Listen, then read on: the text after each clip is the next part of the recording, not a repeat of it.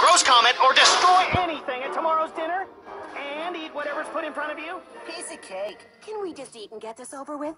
And if I do it and win the bet, you have to do my homework for a week and buy me 10 new video games. And when I win, you clean your room for a year and yell from the rooftop for every